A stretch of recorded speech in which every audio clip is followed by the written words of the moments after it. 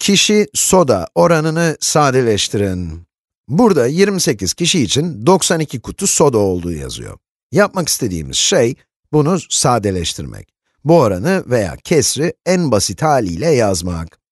En kolay yol, hem 92'yi hem de 28'i bölen en büyük sayıyı, yani en büyük ortak böleni, kısaca EBOB'u bulmak.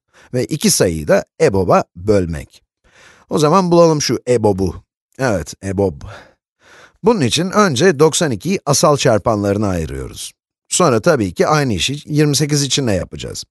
92, 46'nın 2 katıdır. 46 da 23'ün 2 katı.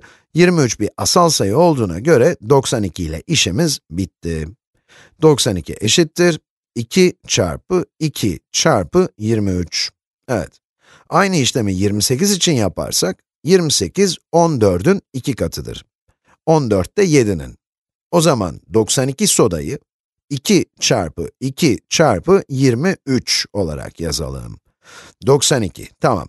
İnsanları da 2 çarpı 2 çarpı 7 olarak. İki sayıda 2 çarpı 2'yi ortak olarak içerdiklerine göre, ikisi de 4'e bölünebilir demektir. 4, bu sayıların en büyük ortak bölenidir. O zaman hem yukarıdaki hem de aşağıdaki sayıyı 4'e bölelim.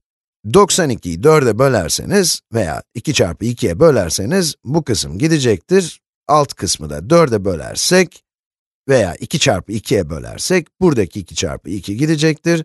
Geriye her 23 kişiye 7 soda kaldı veya her 7 kişiye 23 soda ve soruyu cevaplamış olduk. Sodaların kişilere göre oranını sadeleştirdik.